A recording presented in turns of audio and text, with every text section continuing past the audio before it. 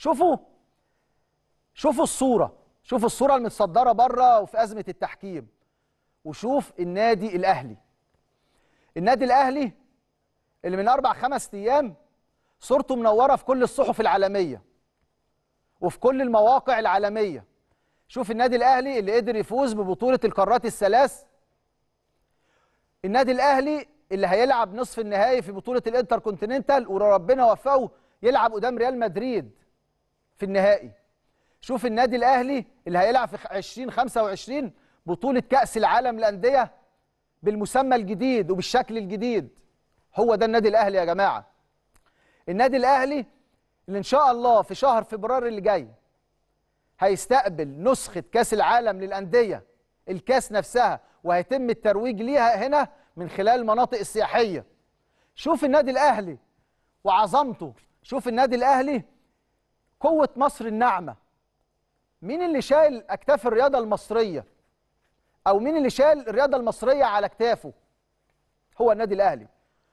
هو اللي مشرف الكرة المصرية. شوف كأس العالم للأندية السنين السابقة في ظل إخفاقات المنتخبات سواء ناشئين أو شباب أو أولمبي أو منتخب أول.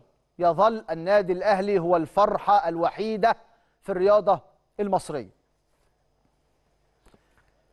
معانا بعض الصور واللقطات ده من معسكر النادي الأهلي. شايفين محمود كهربا ومحمد الشناوي والنهارده تواجد محمود كهربا مرة أخرى لقائمة النادي الأهلي واحد برضو من العناصر المهمة. بنقول له الحمد لله على السلامة. أنت عرفت الطريقة كهربا وعايزين دايما الفترة اللي جاية نشوفك في الملعب.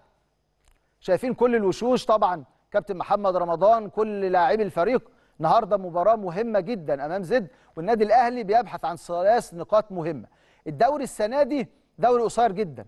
بتتكلم في 25 جولة.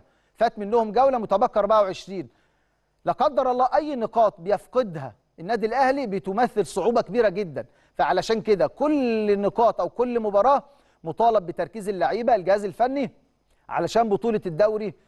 يعني السنة دي بطولة استثنائية والسنة الجاية تكون استثنائية وإحنا عارفين الشكل الجديد.